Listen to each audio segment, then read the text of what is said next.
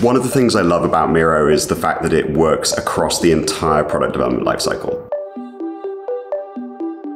I would say I use Miro for pretty much everything that I do.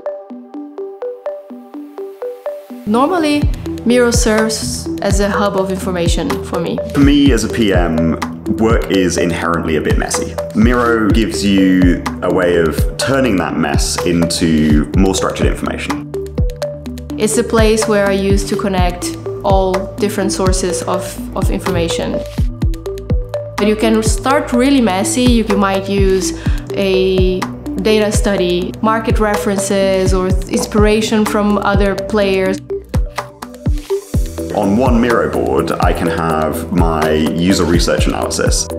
I can bring a design from Figma and an issue from Jira together into the same place. It also gives you a way of turning that mess into, for example, a plan or a roadmap or a presentation, a story.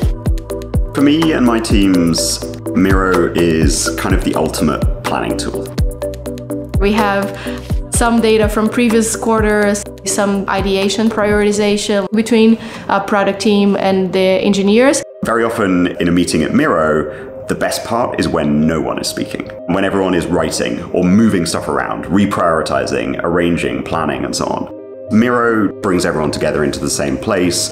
It gives everyone a shared view on what's going on, and that makes it so much easier to gather the whole team together and to get to an agreement and to make decisions.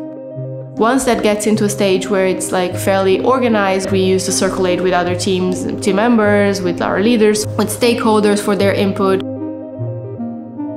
When we go into the actual quarter and to the initiatives, we still keep our high level plan like up to date, keeping it in the same board. It really helps us uh, gain alignment across the entire organization. Being able to pull together all of that information into a single place, so I don't need to create a separate document or a separate slide deck. It makes my life a lot easier to do stakeholder management and communication. It also increases a lot of the transparency. Miro is really about helping teams to focus on, on where they're creating the most value. Miro has really powerful integrations with tools like Jira, features like Program Board, like the Dependencies app. We're allowing teams to work visually, naturally, intuitively um, with that two-way connection to Jira. So all of the work happens on Miro, all of the data stored in Jira, and you get the best of both worlds. And so things like our clustering feature that allow you to, to group sticky notes by, by keyword or theme. Private mode, it really improved the quality of our retrospectives, I would say. And what this does is it gives people a way to express their thoughts. It means that everyone has a level playing field.